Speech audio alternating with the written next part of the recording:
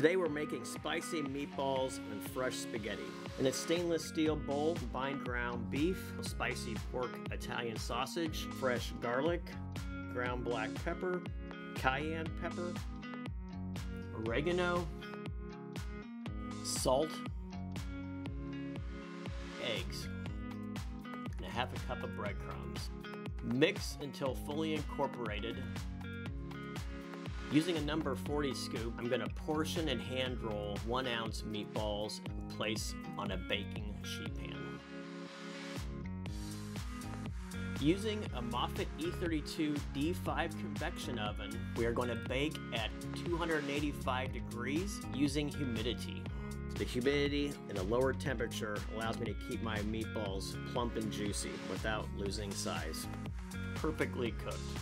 Next, using an Arcobaleno AEX18 pasta extruder, we'll mix a simple semolina flour and water dough, and extrude fresh spaghetti and let rest for about an hour.